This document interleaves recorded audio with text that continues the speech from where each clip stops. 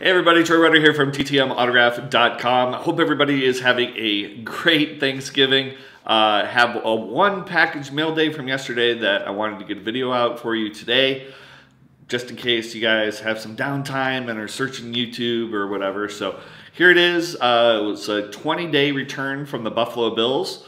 Uh, this is actually a Green Bay Packers card. This is Jerel Worthy.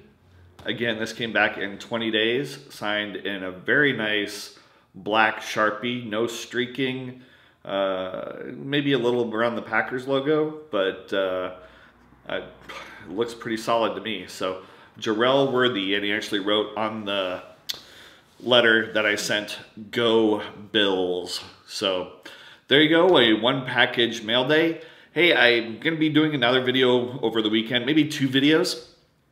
And the subject of one is going to be a tour of my new website. I'm building it right now. I'm taking some time here on Thanksgiving and I'm doing a bunch of updates. Uh, you can see it in progress if you want to go now, but I will be doing a video this weekend uh, just kind of showing you some of the cool things that I've added.